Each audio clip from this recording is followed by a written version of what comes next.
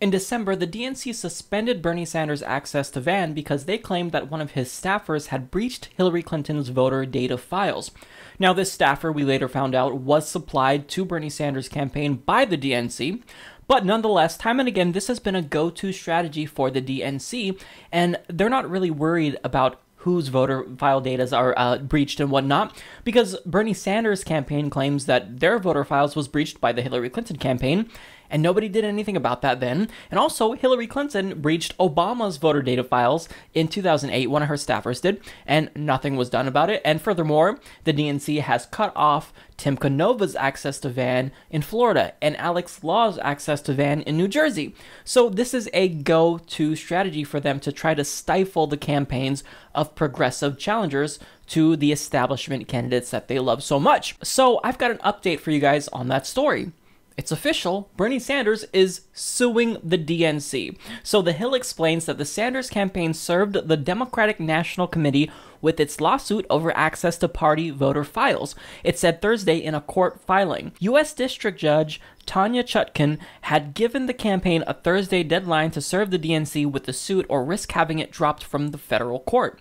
In the new filing, the campaign said the two sides continue to engage in cooperative discussions in their efforts to resolve the pending litigation and will keep the court updated on those discussions. Now, the Sanders campaign said we are dealing with the DNC on an issue where we felt that they did not deal straight with us from the beginning. So the reason to keep this in place was to make sure Senator Sanders is treated fairly in this process, the source told The Hill. This filing is very procedural. We went through with it because the report is not yet complete. DNC spokesperson Mark Paustenbach echoed that optimism in a brief statement to The Hill. We continue to have productive discussions with the Sanders campaign and look forward to resolving this matter, he said. Okay, so to basically break this down, uh, yes, Bernie Sanders is officially suing the campaign, but he may not actually follow through with it if he can somehow settle or resolve this with the DNC themselves, uh, because he he just has to file the suit. Otherwise, it's going to be dropped, and he doesn't really want to drop it yet because he knows that the DNC is going to resort to these same dirty uh, tricks once it's dropped. So he's just doing this to keep it open, but he doesn't necessarily have the intentions of following through with the suit fully. And uh, so here's what I'm going to do I'm going to have to criticize Bernie Sanders for a minute. Buddy, love your campaign. I'm going to vote for you. But you're being too nice here. This is broader than your campaign. Um, this isn't just about you. This is about the Democratic establishment using this dirty trick against other progressives as well. Again, as I've stated, you're not the only one who they cut off access to Van of. So to let them go sets a precedent and tells the party and basically gives them permission to continue to resort to these dirty tricks. And guess what? We're not going to do a damn thing about it. So have that at it, DNC. Continue to violate the rules, your own rules that you set up. Continue to treat progressives like dirt and then expect us to vote for you come November. It's a despicable strategy and they need to be sued entirely to be taught a lesson. So please, Bernie Sanders, do not settle.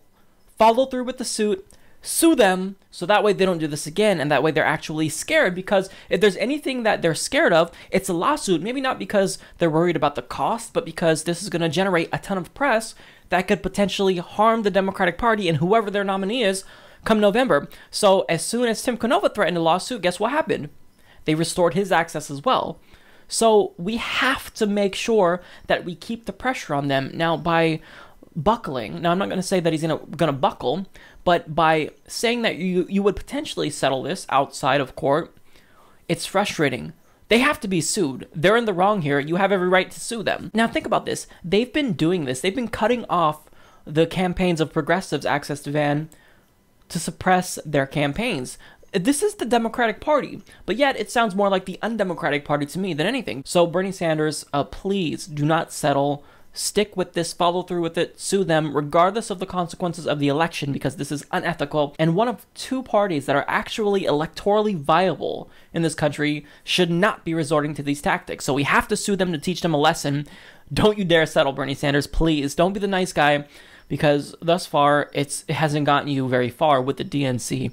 They've done everything to tip the scale in favor of Hillary Clinton's campaign and we cannot let up here. We have to punish them. We have to set a precedent that they can't keep resorting to these destructive tactics to your campaign and other progressive campaigns.